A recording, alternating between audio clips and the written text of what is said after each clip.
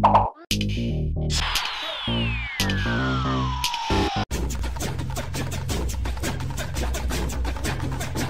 aí pessoal, tudo bom? Meu nome é Thiago Bastos e você está no canal Modelo Design com o programa Dica de Arte. Pessoal, desculpa a demora para lançar o vídeo, mas eu prometo que vai voltar ao normal, tá certo? E vai ter bastante novidade aí para vocês, só fiquem no aguardo, ok? Vamos lá pro vídeo. Hoje, pessoal, eu vou falar de um desenho que eu gosto bastante, que é Avatar, né? A Lenda de Aang. É, eu gosto muito dessa série, eu acho ela muito bacana. E como teve o collab aí do MD Sketch Club, eu resolvi trabalhar com, com o desenho inicialmente do Eng, mas aí eu comecei a pensar logo no Soca, comecei a pensar na Katara, e aí se deixasse ia fazer a, né, a turma toda. Mas inicialmente eu comecei bem pra caramba no desenho e do nada eu comecei a murchar, né? É, não sei, eu acho que eu tava, tava um pouco, sei lá, eu comecei bem inspirado e depois eu comecei a ficar um pouco mais esquisito aí é, com o desenho. E isso me preocupa muito por conta do ritmo né, que a gente costuma desenvolver nesse trabalho. É, a gente, acho que eu costumo me enganar mais. Né? E inspiração é algo que não faltou ali na hora de começar, mas sei lá, parece que dá um down às vezes na hora que você vai mexer com, com, com o desenho até certo ponto. De novo aquela ideia né, de, de começar com o desenho, ele não ficar belíssimo da forma que você quer, perfeito do começo ao final, mas é, uma das situações que me ajudou bastante é, naquele momento, naquela falta de inspiração, aquela falta de vontade, foi justamente a referência do próprio desenho, né? Então é, são, são situações que eu fico pensando que me ajudam, né? a, a, a me estimular, a me inspirar, é, colocar uma música ali, às vezes do própria animação, colocar a própria animação enquanto eu estou desenhando. É, essa inspiração me ajuda bastante. Lógico que, que eu uso ela de combustível para desenvolver os trabalhos, não só esse como os outros, mas quando te falta inspiração é, é um problema, porque é difícil de dar um start, sabe? É igual aquela, aquela faísca para gasolina no carro. E isso ajuda muito, muito, muito mesmo.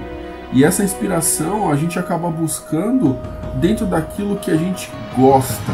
É por isso que é um problema é, ficar olhando é, só e fazendo o que as pessoas querem. Você tem que fazer o que você quer, entende?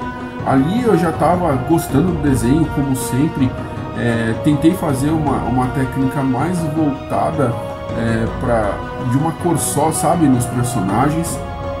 Tava testando o fundo, vi que não deu certo, passei o, o, o nanquim ali, né, para dar um contraste para o desenho aparecer mais.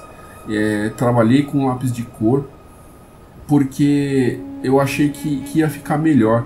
Os testes com pastel não, não me agradou muito, aí eu já fui para mexer com efeito e no final das contas eu tava vendo que, que o desenho tava ficando legal, que eu tava conseguindo vencer aquela luta interna, né?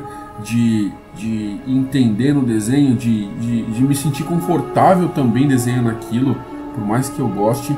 E no final das contas, é, o desenho também eu gostei da ideia, ele ficou com, com uma cara que, que eu esperava no final, né? E eu sempre dou aquele toque com o branco que eu gosto bastante. E eu gostei, gente. Eu tô contente aí com o resultado e com a minha reflexão, tá certo? É isso aí, pessoal. Espero que vocês tenham gostado do desenho. E espero que vocês gostem também da HQ que está disponível online chamada VHS, o Vortex Herói que Acredita.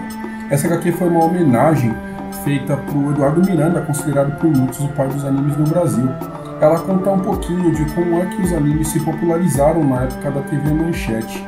Ela é muito bacana, ela tá free e eu tô pedindo o apoio de todo mundo para deixar o seu comentário lá na página da HQ, que isso vai ajudar a gente a entender que o projeto tem que continuar, tá certo?